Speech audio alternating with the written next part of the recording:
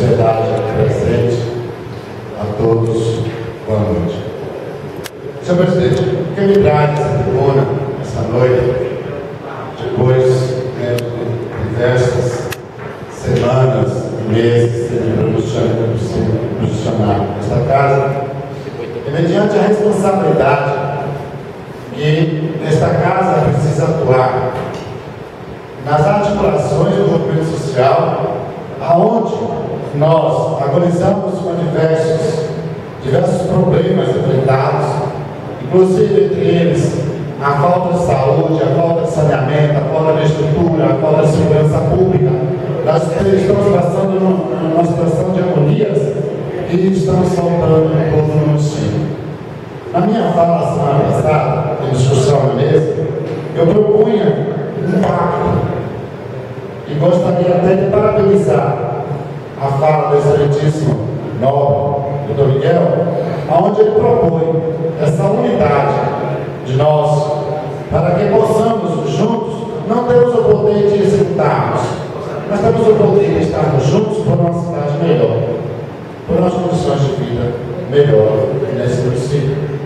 Vossa Excelência tem razão, porque a situação que se encontra no bairro do Novo Iambu, em frente ao PSF, está de, de, grande, de grande impacto visual e de grande né, acúmulo de sujeira naquela região. Nós não podemos também colocar-nos as situações dos pontos cruciais de periferias do município, aonde o lixo está se acumulando cada dia, cada dia. Tem lugares onde a população começa a queimar o lixo devido à falta de coleta. Devemos, nesse momento, né, se também, senhores, é procurarmos uma situação de pactuar, uma unidade de frente parlamentar, não só de intimar por querer, por saber os secretariados, mas de fazer acontecer uma situação em que nós precisamos estar mais perto de alguns segmentos da sociedade, como a questão da representatividade da educação, que muito nos preocupa, como também na situação de saúde, como também a situação da assistência, onde várias e várias pedidos de esclarecimentos, de questão daquelas casas, a questão do andamento do projeto, se chega um ofício, se vem outro, e a gente precisa de, de, mais, de maiores esclarecimentos, de maiores adereços em nossas vidas. O Estado brasileiro, por ser laico, essa laicidade nos dá a referência de sermos povos, refiro-me, senhor presidente, e a esta casa, em que nós precisamos, de maneira integrada, interagirmos na defesa do povo cidadão e de modo específico, diferenciado do povo negro. Está, acontece na pátria brasileira, principalmente no estado da Bahia, o estado mais negro do país, o genocídio da juventude negra em diversos campos da sociedade. E Ambu fica de fora no projeto, no projeto de desenvolvimento urbano e rural, na falta do Conselho de Reparação de Promoção da Igualdade Racial no território do sul e litoral norte deste país. Então, isso é muito sério. E nós temos, graças a Deus, no município, hoje mesmo, porventura, muitas vezes, até má é, arrependimento de votarmos no projeto que dá averiada à consciência negra desse município, mas ações nenhuma ao governo, a administração pública se tomou por com essa causa, aonde a semana passada morria e morre, né? Muito negros e negras a falta do medicamento da linha fosfórica. Aonde se falta uma política de saúde adequada e saneamento básico às zonas rurais, a essas comunidades. Aonde se falta um amparo jurídico, a mulher negra sofre a cada vez mais uma velocidade da violência Oeste. Aonde nos falta a oportunidade de respeito para com os nossos costumes de cultura e educação negra consistente nesse país. Senhor presidente, gostaria de chamar a atenção que não se discutimos raça, que a raça é humana se discutirmos o direito que temos nesse, nessa pátria, sermos e de termos as nossas posições legais e políticas públicas constituídas, legalizadas nesta, nação. Lá atrás, no início dessa administração, quando se promoveu nessa cidade uma audiência pública em busca do Departamento de Defesa do Povo, desse povo, dessa etnia negra, momento se tomou medidas cabíveis em defesa ao patrimônio do povo negro desse município. E precisamos, em Ambubis e Perdura também, e pontua, ouvindo a, a, a, a fala do nobre, da, do nobre Giovanni, né, na excelência, Vossa Excelência, falando da questão da violência, e Ambubis também outros mapas, Excelência, se pontua com a questão da criminalidade, principalmente com os nossos jovens. Hoje o Estado, nós, como Codeté Colegiado do Desenvolvimento Territorial Norte do Baiano, já promove uma, uma chamada pública em questão onde a PUB pontua após a Araconhas em segundo lugar. E Vossa Excelência, doutor Miguel, como advogado, sabe o que acontece com nossa cidade. Parabenizar a polícia, sim, pelo, pela questão água, pelo trabalho desenvolvido, mas precisamos ainda conseguir e conceituar uma política pública em defesa da cidadania em abupense do povo brasileiro. Precisamos garantir que esses jovens, que, que esses universitários que chegam meia-noite, 11 horas da noite, em nossa terra, após o cansaço da universidade, eles têm uma garantia de ter o âmbito da cidadania de chegar em suas casas.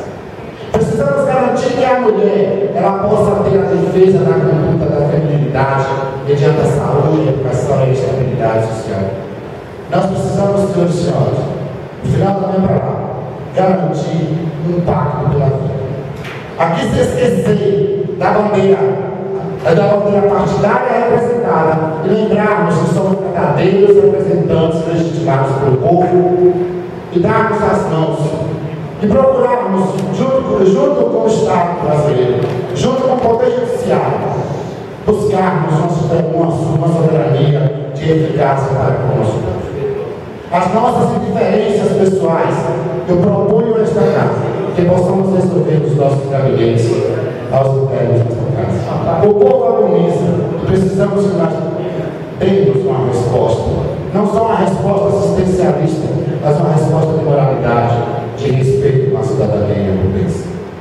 E a situação da Embaça no município, senhor presidente, eu gostaria e sugeria até que Vossa Excelência nos concedesse né, uma audiência pública até onde essa mesma empresa viesse a participar dessa audiência e nos mostrasse o quadro real do desenvolvimento do amparo retroagido ou mediante a isenção fiscal, que tem mais de 25 anos que era isenta do, do amparo para aquilo.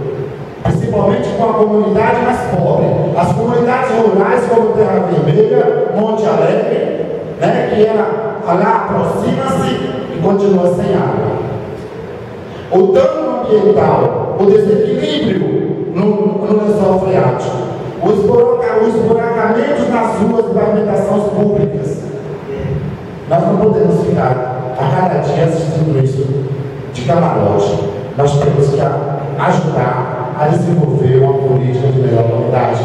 A, a situação, possivelmente, né, da ligação do poço no quilômetro 8, Vossa Excelência é, vereador Marcos, vereador Fabrício, que são da nossa regionalidade, né, a gente busca a situação de busca no Estado brasileiro, no, no Estado, com a governadoria, por isso aqui, e vai entregar-se a quem?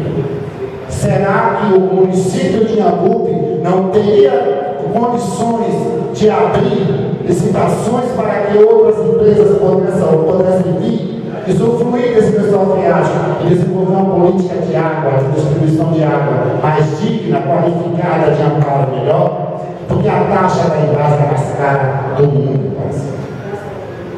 Então eu gostaria de propor já essa discussão aos senhores e senhoras e dizer ao povo de Ambupe que o novembro negro não significa só o 20 de novembro na morte do Silvio Palmares.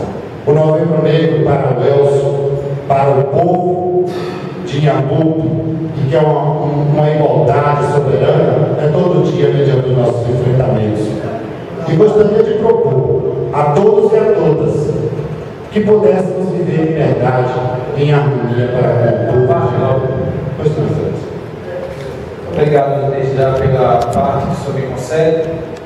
Eu gostaria só de complementar algumas falas que teve aqui esta noite, parabenizar o senhor pelo discurso rico que traz para esta casa, aos nobres assistentes que se fazem presente. Dizer, nobre, que é lamentável como a gente observa o tratamento do nosso povo querido. Eu falo aqui da comunidade de Ladeira Tabuleiro, que está há 20 dias sem abastecimento de água por conta do município que tem uma dívida de débito de energia de mais de 60 mil reais. Dívida essa oriunda de, dessa gestão e de gestões anteriores. E a Goelpa chegou suspendeu o abastecimento de água no poço artesiano, cortando a energia na sua região também, de Baixa da Areia, o sorte foi sanado logo em seguida, mas a nossa comunidade está lá afetada.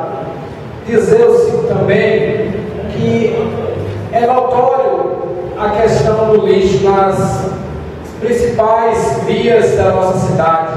Você vê aquela região de, das entradas da cidade, Água Seca, Pedreiro, Estádio Municipal, o entrocamento de sabidias com vários acúmulos de lixo expostos a céu aberto, que a gente se pergunta por que, que essa cidade, que era referência nos anos 2000 como uma das cidades mais limpas do nosso nossa região, se tornou esse descaso.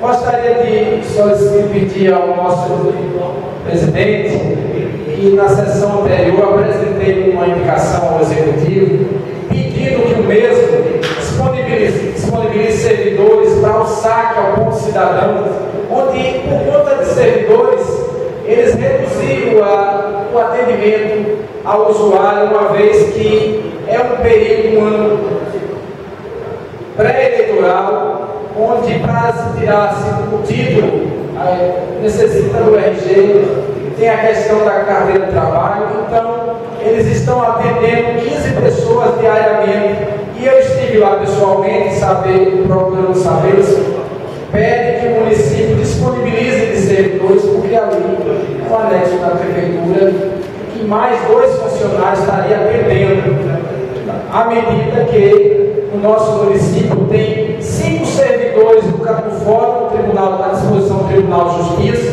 e o Tribunal de Justiça é um dos dos poderes mais fortes da Bahia, então que esses servidores retornem para dar mais celeridade e agilidade à máquina do nosso município, que o Poder Judiciário tem poder, tem verbas para a sobrevivência dos funcionários do nosso município.